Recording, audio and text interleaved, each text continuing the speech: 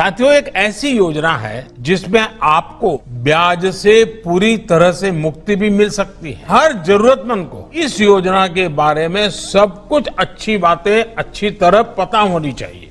तभी तो हमारा गरीब भाई बहन उसका फ़ायदा उठा पाए। दोस्तों, हो सकता है कि आपने कई बार बैंकों के चक्कर लगा लिए होंगे, कई बार कई सारे एप्लीकेशन से भी लोन के लिए अप्लाई कर लिया होगा, लेकिन आपको कहीं से भी लोन नहीं मिल रहा है। लेकिन आज की इस वीडियो में मैं आपको बताने वाला हूँ, आप कहीं और से लोन लेने की ज़रूरत नहीं पड़ने वाली है, बल्कि डायरेक्टली आप यहाँ पे गवर्नमेंट की तरफ़ से जो लोन मिलता है, उस लोन को ले सकते हो। लेकिन सबसे बड़ी बात तो यह है कि यार, कहना बहुत आसान है, करना बहुत मुश्किल है, लेकिन मैं आपको पहले यहाँ पर प्रूफ दिखाना चाहूँगा। और फाइनली देखेंगे, यहाँ पर हमें पाँच लाख रुपए लोन की ज़रूरत है, जिसमें यहाँ पे अप्रूव्ड भी हो चुका है। पाँच लाख रुपए के लोन में हमें यहाँ पे डेढ़ लाख रुपए की सब्सिडी दी जा रही है। कहने का मतलब ये हुआ कि पाँच लाख रुपए का लोन हमें मिल जाएगा और हमें यहाँ पे जब वापस करना होगा तो मात्र साढ़े तीन लाख रुपए करना होगा। अभी अगर आप यहाँ पे दोस्तों देखेंगे तो आपको देखने को मिलेगा कि भाई पंद्रह साल तक के लिए आप लोन ले रहे हो पाँच लाख का लोन ले रहे हो। बता रहे हो साढ़े तीन लाख सब्सिडी मिल जाएगी, लेकिन हर महीने की ई आपके यहाँ पे पाँच हज़ार आ रही है। अगर आप इसको मल्टीप्लाई करोगे पंद्रह साल में तो बहुत ज़्यादा अमाउंट बन जाता है। तो भाई सब्सिडी कहाँ मिल रही है और लोन में आपको छूट कहाँ से मिल रही है? मैं आपको बताना चाहूँगा, ये यहाँ पे सिर्फ़ एक रेफरेंस दिखाया गया है कि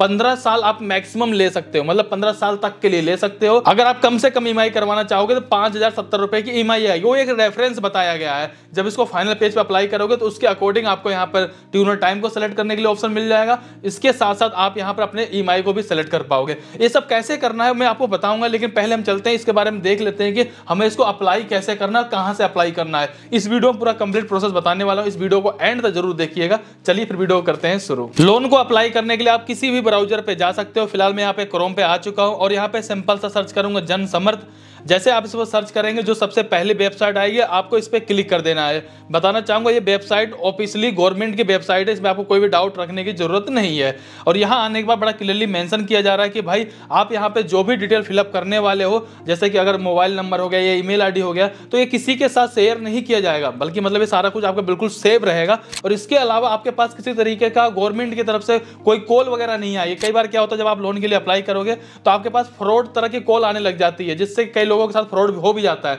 लेकिन यहाँ पर आपको कोई भी इस तरीके की टेंशन लेने की ज़रूरत नहीं है। फ़िलहाल हम यहाँ पे इसको कट कर देते हैं। यहाँ आने के बाद आप देखेंगे, आपको यहाँ पे पंद्रह स्कीमें देखने को मिल जाती है गवर्नमेंट की तरफ़ से। इसके साथ साथ देखेंगे, सात तरह की कैटेगरी आपको मिल जाएगी, लोन की कैटेगरी। इसके अलावा देखेंगे, आपको 200 से प्लस आपको यहाँ पे लैंडिंग पार्टनर देखने को मिल जाएँगे। कहने का मतलब लोन देने वाले काफ़ी सारी बैंकें मिल जाएँगे, काफ़ी सारी आपको एनबीएफसी देखने को मिल जाएँगे, जहाँ से आपको ये लोन प्रोवाइड करवाया जाता है। फ़िलहाल हमें क्या करना है, सबसे पहले नीचे की तरफ़ आना है। यहाँ आने के बाद आपको ये देखना है कि कौन कौन से लोन दिए जाते हैं। जैसे मैंने बताया ना लोन की कई सारी कैटेगरी भी है यहाँ पे। जैसा कि मैंने आप लोगों को बताया कि आपको यहाँ पे सात कैटेगरी में लोन देखने को मिल जाता है और सातों कैटेगरी आपको यहाँ पे देखने को मिल जाएगी। जिसमें कि आप यहाँ पे देख पाएँगे ई किसान लोन भी आपको देखने को मिलेगा एग्री लोन भी आपको यहाँ पे देखने को मिल जाएगा। इसके साथ साथ यहाँ पे रिन्यूएबल एनर्जी का भी लोन देखने को मिल जाएगा। इसी तरीके से यहाँ पे देखेंगे, ये भी लोन मिल जाएगा। बिज़नेस एक्टिविटी लोन मिल जाएगा। एजुकेशन लोन भी मिल जाएगा। कुल मिला जुला कर देखेंगे, करीब सात कैटेगरी बनाएगी इनमें से आप किसी भी कैटेगरी में लोन के लिए अप्लाई कर सकते हो। लेकिन आपको इस बात का ज़रूर ध्यान रखना है कि आपको इसमें से लोन लेना कौन सा है? क्या ज़रूरत है आपको? किस पर्पज से आप लोन को लेने वाले हो? फ़िलहाल मैं आपको बताना चाहूँगा, यहाँ पर हम लोग यहाँ पे बिज़नेस एक्टिविटी लोन को अप्लाई करने वाले हैं। बिज़नेस एक्टिविटी लोन उनको ही दिया जाता है जिनको अपना बिज़नेस स्टार्ट करना हो या फिर ऑलरेडी अपना बिज़नेस थोड़ा बहुत वो कर रहे हैं, लेकिन चाहते हैं कि सरकार से हमें कुछ पैसा मिल जाए, उस पैसे का यूज़ करते हुए हम अपने बिज़नेस को और बढ़ा सके। ये उनके लिए लोन होता है। इसी लोन को आज की इस वीडियो में हम लोग अप्लाई करने वाले हैं। अप्लाई करने के लिए हमें सिंपल सा क्या करना है? यहाँ पे चेक एलिजिबिलिटी पे क्लिक कर देना है। इसके बाद देखेंगे, यहाँ पर जो भी जानकारी आपको देनी है, अपनी एलिजिबिलिटी को चेक करने के लिए, वो बड़े ही ध्यान से और सोच समझ के देनी है। मैं हालाँकि सारी चीज़ें आपके सामने यहाँ पे एक्सप्लेन करूँगा।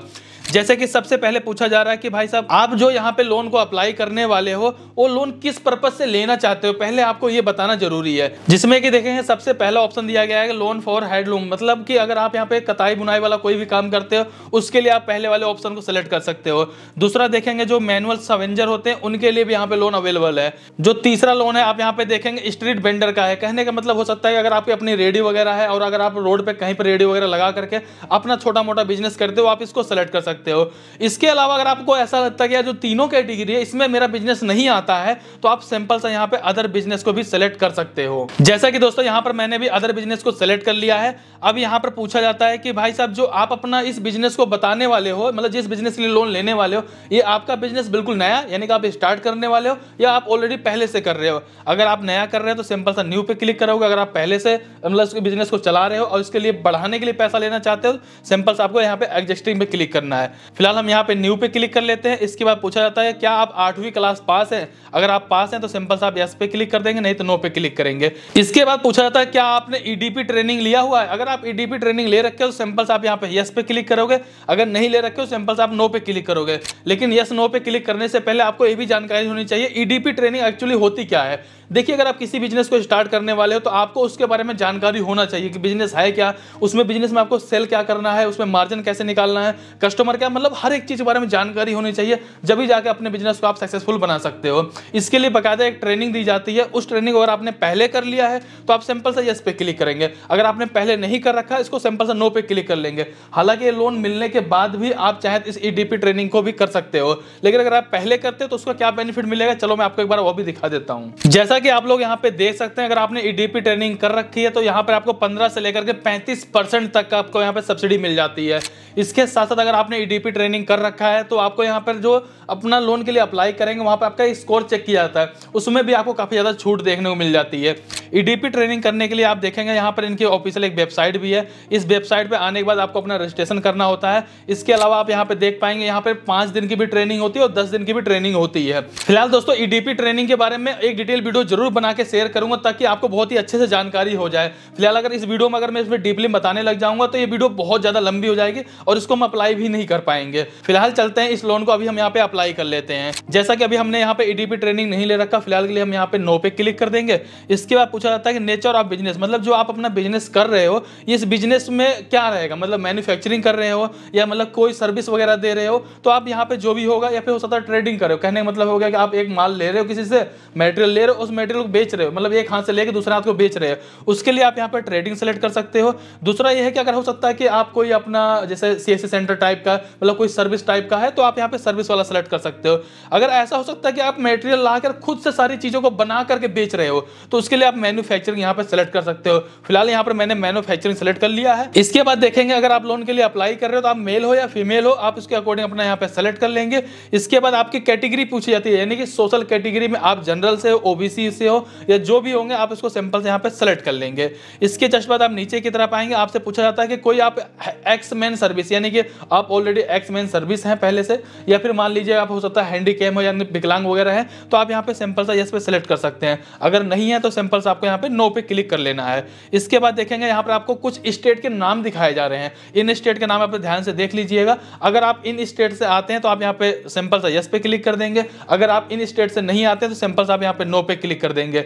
इसके बाद देखेंगे यहाँ पे पूछा था कि सेलेक्ट योर लोकेलिटी कहने मतलब आप जहाँ पर जिस एरिया में रह रहे हो, वो आपका शहरी इलाका है या फिर ग्रामीण इलाका है। मान लीजिए अगर आपका शहरी इलाका है मतलब आप शहर टाइप में रहते हो तो सिंपल से आपको यहाँ पे अर्बन पे सेलेक्ट कर लेना है। अगर आप गाँव के एरिया में रहते हो तो आपको यहाँ पे रूरल सेलेक्ट कर लेना है। फ़िलहाल यहाँ पर मैं अर्बन सेलेक्ट कर ले रहा हूँ। इसके बाद यहाँ पे पूछा था select type of applicant benefit मतलब इस पर आप क्लिक करेंगे, आपसे पूछा ये जा रहा है कि जो आप अपना बिज़नेस कर रहे हो या बिज़नेस करने वाले हो, वो आप अपना खुद से अकेले चलाने वाले हो, यानी खुद इसको आप आप खुद उसके मालिक हो तो आप यहाँ पे सिंपल से इंडिविजुअल पे सेलेक्ट कर लोगे। इसके बाद हो सकता है शायद आप उसे पार्टनरशिप में चला रहे हो, या फिर हो सकता है कि कई लोग मिलकर एक कंपनी को चला रहे हैं। इसके लिए सिंपल से आपको नॉन इंडिविजुअल पे सेलेक्ट कर लेना है। फ़िलहाल यहाँ पर मैं इंडिविजुअल रहने देने वाला हूँ। इसके बाद नीचे की तरफ़ आएँगे। आपसे पूछा जाता है कि इंटर एस्टिमेटेड कॉस्ट मतलब जो आप अपना काम करने वाले हो, आपकी प्रोजेक्ट कॉस्ट क्या होने वाली है? फ़िलहाल यहाँ पे जिस काम को मैं करने वाला हूँ, मुझे यहाँ पर छह लाख रुपए की लागत लगने वाली है। ध्यान रखिएगा, जो आपकी लागत लगने वाली है, आपको वो इंटर करना है यहाँ पर। कई बार लोग गलतियाँ कर जाते हैं कि यार, मुझे जितना चाहिए, मैं उतना करने वाला नहीं, अभी आप वो बताओ कि भाई टोटल पैसा कितना लगेगा इस काम को करने के लिए? फ़िलहाल यहाँ पर मैं बता देना चाहूँगा, मेरे को यहाँ पे छह लाख रुपए लगने वाले हैं। मैंने छह लाख रुपए इंटर कर लिया ठीक है? अब यहाँ पे पूछा जाता है कि भैया, अगर आप अपने इस बिज़नेस को कर रहे हो तो आपके पास भी क्या कुछ पैसा है? अगर है तो कितना है? यहाँ पर यही चीज़ आपसे पूछा जाता है कि आप कितना पैसा इन्वेस्ट कर सकते हो। आपके पास जो भी हो, एक लाख हो, पचास हज़ार हो, दो लाख हो, जो भी हो, आप यहाँ पे एंटर कर सकते हो। मान ली हो सकता है आपके पास कोई भी पैसा नहीं है तो आप यहाँ पे इसको खाली भी छोड़ सकते हो या फिर इसको ज़ीरो कर सकते हो, कोई भी प्रॉब्लम नहीं है। फ़िलहाल मेरे पास अभी यहाँ पर एक लाख रुपए है, जो कि मैं लगा सकता हूँ, मैंने अपने पास रखे हुए इकट्ठे करके। मैं सिंपल से अपना यहाँ पे एक लाख रुपए इंटर कर लेता हूँ। जैसे मैंने यहाँ पे एक लाख रुपए इंटर कर लिया अब हमसे बताया जाता है कि रिक्वायर्ड लोन अमाउंट कहने का मतलब ये होगा कि भाई, छह लाख रुपए टोटल लगेंगे, एक लाख रुपए मैं अपने पास से दे रहा हूँ, अब मुझे पाँच लाख रुपए की ज़रूरत है। जैसा कि अब हमने यहाँ पे सारा कुछ फिलअप कर लिया, अब यहाँ पे हमें कैलकुलेट एलिजिबिलिटी पे क्लिक करना है। यहाँ पे दोस्तों आप देख सकते हैं कैलकुलेशन लिखा हुआ आ रहा है और बताया जा रहा है कि आप दो लोन के लिए यहाँ पे एलिजिबल है, जिसमें कि सबसे पहला लोन आपका यही है पी वाला। इस लोन में देखेंगे, पाँच लाख रुपए का लोन हमें दिया जा रहा है और यहाँ पे अगर हम सब्सिडी के बारे में बात करें तो यहाँ पे डेढ़ लाख रुपए की हमें सब्सिडी दिखाई जा रही है। मंथली ई आप देखेंगे मिनिमम जो हमारे यहाँ पर आएगी, पाँच हज़ार सत्तर रुपए की ई आएगी। मैक्सिमम इसको हम पंद्रह साल तक के लिए यहाँ पर ले सकते हैं। और अगर हम यहीं पर बात करने वाले हैं दूसरे लोन के बारे में, जो कि यहाँ पर आप देख पाएँगे कि अपना प्रधानमंत्री योजना है, इस वाले में देखेंगे पाँच लाख रुपए का लोन तो हमें दिया जा रहा है, लेकिन यहाँ पर कोई भी सब्सिडी नहीं दी जा रही है। इसके साथ साथ जो इसकी मंथली ई आएगी, वो दस रुपये आएगी, और यहाँ पर हम मैक्सिमम इसको पाँच साल के लिए ले सकते हैं। इसके अलावा देखेंगे यहाँ पर जो रेट ऑफ़ इंटरेस्ट लगेगा, वो दस लगेगा, जबकि यहाँ पर जो हमारे पास P M E G P वाला लोन था, इसमें सिर्फ़ नौ परसेंट का रेट ऑफ़ इंटरेस्ट लग रहा था। यानी कि इन दोनों लोन में से आप जिसको चाहे उसको अप्लाई कर सकते हो। लेकिन यार, अगर जहाँ पर हमें सब्सिडी मिल रही, जहाँ ज़्यादा समय के लिए लोन मिल रहा है, इसके साथ साथ जहाँ पर हमें यार ऊपर रेट ऑफ़ इंटरेस्ट कम लग रहा है, मुझे लगता है हमें वहीं पर जाना चाहिए। यानी कि P M E G P loan को ही हम यहाँ पे अप्लाई करने वाले हैं। अब दोस्तों, इसको आगे प्रोसीड करने से पहले अगर आपके दिमाग में ये आता है, यार, हमने जो भी पीछे फिलअप किया है, हमसे कुछ गलती हो गई, हमें कुछ सही करने की ज़रूरत है तो सिंपल से आपको यहाँ पे एडिट पे क्लिक कर लेना है। एडिट पे क्लिक करने के बाद आपने जो भी यहाँ पे फिलअप किया हुआ, उनमें से किसी भी चीज़ को एडिट करके सही कर सकते हो। लेकिन हमारे केस में यहाँ पे सारा कुछ सही है तो सिंपल से हम यहाँ पे लॉग इन टू अप्लाई पे क्लिक कर देंगे। यहाँ पर दोस्तों, सबसे पहले आपको अपना मोबाइल नंबर इंटर कर देना है। इसके बाद जो भी कैप्चर दिखाया जा रहा है, उस कैप्चर को यहाँ पे फिलअप कर लेना है। चलिए मैं यहाँ पे सब कुछ फिलअप कर लेता हूँ, इसके आगे का बताता हूँ आपको। जैसे ही दोस्तों अपना मोबाइल नंबर यहाँ पे कैप्चर फिलअप करेंगे, आपको यहाँ पे बॉक्स दिखाया जाए, उस बॉक्स पे क्लिक करना है।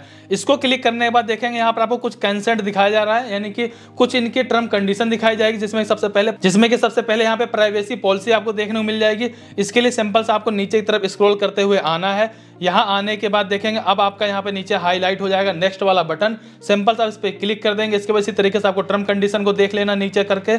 इसके बाद देखेंगे, यहाँ पे नेक्स्ट पे क्लिक कर देना है। सेम इसी तरीके से आपको डिस्क्लेमर वाले में भी स्क्रोल करना है। इसके बाद नीचे की तरफ़ आएँगे, एक बॉक्स मिलेगा, इस पर क्लिक करना यहाँ पर एग्री पे क्लिक कर देना है। इसके बाद यहाँ पे गेट ओटीपी पे क्लिक कर देंगे, आपके मोबाइल नंबर पे एक ओटीपी आएगा, उस ओटीपी को यहाँ पे इंटर कर देंगे। फाइनली दोस्तों, यहाँ पर मेरे मोबाइल नंबर पे एक ओटीपी आ चुका है, मैं इस ओटीपी को सिंपल से यहाँ पे इंटर करके सबमिट ओटीपी पे क्लिक कर देता हूँ। इसके बाद दोस्तों देखेंगे, यहाँ पर आपको अपनी एक ईमेल आईडी एंटर करने की ज़रूरत है। सिंपल हम अपने यहाँ पे एक ईमेल आईडी को एंटर कर लेते हैं। इसके बाद यहाँ पे वेरीफाई ईमेल ओटीपी पे क्लिक कर लेंगे। आपके ईमेल आईडी पे एक ओटीपी आएगा। उस ओटीपी को यहाँ पे एंटर करके सबमिट ओटीपी पे क्लिक करेंगे। इसके बाद दोस्तों इस एप्लीकेशन को कंप्लीट करने के लिए आपको अपना यहाँ पे पासवर्ड बना लेना है।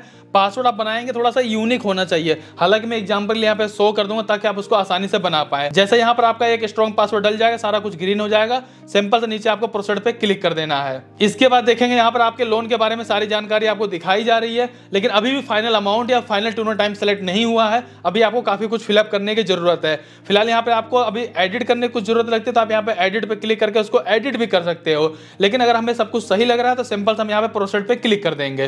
प्रोसेड पे जैसे क्लिक करेंगे आपने यहाँ पे जो भी चीज़ें सेलेक्ट कर रखी है अपने अकॉर्डिंग वो सारी चीज़ें आपको यहाँ पे देखने को मिल जाएँगी। आपको अगर आपको सब कुछ सही लगता है तो आप यहाँ पे कंटिन्यू पे क्लिक करेंगे। लेकिन अगर आपको कुछ भी अभी भी गलत लगता है तो आप यहाँ पे एडिट पे क्लिक करेंगे। फ़िलहाल यहाँ पर मैं कंटिन्यू पे क्लिक करने वाला हूँ। इसके बाद देखें, यहाँ पे सिंपल हमें प्रोसेड पे क्लिक कर देना है। अब यहीं से हमें इस एप्लीकेशन पूरी तरीके से कंप्लीट करना है। यहाँ पर अगर हमारा एक नया एप्लीकेशन है तो हम सिंपल से यहाँ पर देखेंगे applicant for new unit simple से इस पे अप्लाई पे क्लिक कर देंगे। यहाँ आने के बाद सबसे पहले आपको अपने आधार कार्ड का नंबर इंटर कर लेना अगर आपके पास आधार कार्ड नंबर नहीं है तो अगर आपके पास यहाँ पे ई आई नंबर है तो आप उसको भी यहाँ पे इंटर कर सकते हैं। लेकिन क्या आपको लगता है कि ये सरकारी योजना है और आप यहाँ पे सबमिट करोगे, आपको लोन मिल जाएगा? तो ऐसा भाई साहब बड़ी मुश्किल की बात है। खास करके इस बात के लिए कहना चाहूँगा कि ये लोन बनाया गया है गरीबों के लिए, लेकिन गरीबों को मिलता है, ऐसा बहुत मुश्किल की बात है।